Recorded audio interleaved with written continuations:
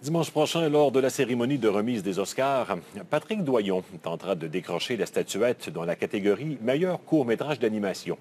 Le cinéaste originaire du Lac-Saint-Jean pourrait remporter les grands honneurs avec son premier film intitulé Dimanche, un jour de la semaine pas comme les autres. Louis-Philippe Ouimet. Tel un moine, Patrick Doyon a réalisé, sans ordinateur, des milliers de dessins pour son court-métrage intitulé Dimanche. Je suis très euh, à l'aise avec un crayon et un papier.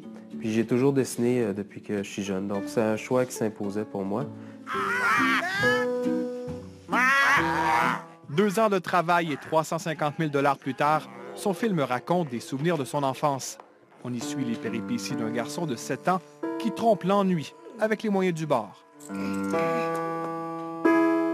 J'avais le goût de raconter euh, une journée ennuyeuse, mais en essayant de ne pas ennuyer les, spectateurs.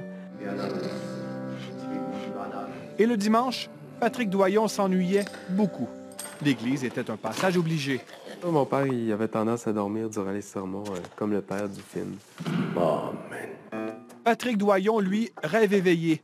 Dimanche est son premier film professionnel et déjà il fait partie du groupe Select des 72 cinéastes dans l'histoire de l'ONF qui ont été mis en nomination pour la cérémonie des Oscars. Cette année, il affrontera une autre production de l'ONF intitulée Une vie sauvage. C'est la loi de la sélection naturelle. Réalisée par Amanda Forbes et Wendy Tilby. Aussi dans la course, La Luna, un film de Pixar,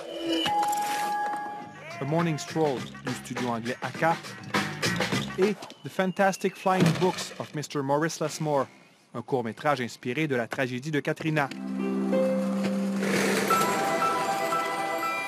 Pense pas que je sois le favori de la course euh, aux Oscars, mais ça, me convient bien, euh, cette position-là. Puis euh, ben, c'est flatteur, je pense, d'être nominé parmi les, grosses pointures comme Pixar. je le prends comme un compliment.